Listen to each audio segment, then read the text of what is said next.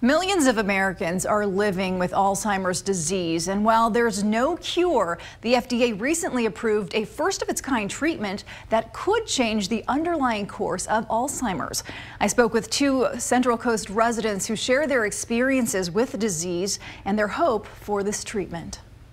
You know, I started this journey 15 years ago with my dad, and at that time, the conversation was simple there's nothing we can do. Rosalind Rivera from Santa Maria has witnessed the effects of Alzheimer's disease firsthand when her father was diagnosed at just 55 years old. 6.7 million Americans are currently living with Alzheimer's disease, and right now there is no cure. But hope for some came last month when the FDA greenlit the first traditionally approved drug to slow the progression of the disease. The fact that now we have an available treatment that if you start with it in your early stages, you can actually buy yourself more time. In the study, it delayed it by 5.3 months, um, which might not seem like a huge difference in our lives typically, but it's a huge difference for a person with dementia. Rivera says this would have been priceless to have years ago. She admits at first her father was in denial, which delayed them getting treatment.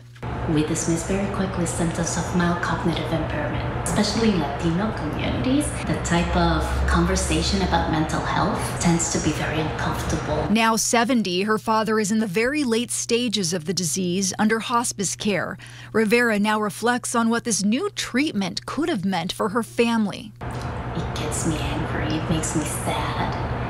Dad, I knew he was still full of Leonard and I could have shared so many other things. Five months seemed probably in overall time a little amount, but it's huge when you know that your memories are fading away every single day. Chris Broom from San Luis Obispo lost his wife, Alice, to Alzheimer's this past March and remembers when her first symptoms appeared 10 years ago. We had been on a, a fairly long vacation and I'd noticed that she was just not paying as much attention to detail. For example, she just couldn't pack her suitcase very well, which was very important at that time because we were taking a number of flights and we were very restricted in what we could carry. Once diagnosed, Broom and his wife were both practical in their approach.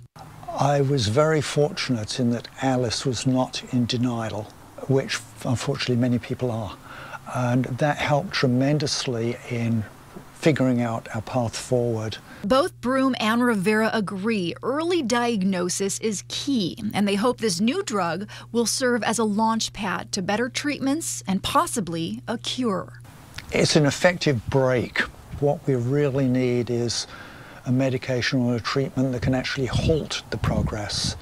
And then ideally, we need something that can reverse it. But it's it's a great beginning because now with this approval, many others can continue leveraging on that research. I spoke with Laura Deloy with the Alzheimer's Association on the Central Coast. She says they want to get the word out to families in hopes of encouraging them to speak with their doctors to see if this new treatment is right for them and also to be aware of any side effects that may occur. I want to show you a quick snapshot of how many people have the disease locally. Here in California, there are nearly 6 million people aged 65 years or older. About 720,000 in that age group have been diagnosed with the disease, representing 12 12%. In SLO County, 6,400 people have Alzheimer's. That's nearly 11% of that population. And in Santa Barbara County, 8,800 people 65 and older have the disease, or just over 12% of that age group. And tomorrow is the 10th year of the Forget Me Not Art Against Alzheimer's uh, event. It was created by local resident Brandon Tokunaga in honor of his father who passed away from the disease. The fundraiser raises money for the Alzheimer's Association. There will be food and wine, entertainment, a silent auction, and of course the art. It will be held at the Village at the Oaks at 61 Broad Street in San Luis Obispo tomorrow from 5 to 8 p.m. And it, you know, like Rosalind Rivera said, this it, it, doesn't do a drastic amount of change with people with Alzheimer's, but it is a launch pad that just keep building on it, and hopefully, with so many people who have it, hopefully there is a cure on the horizon here.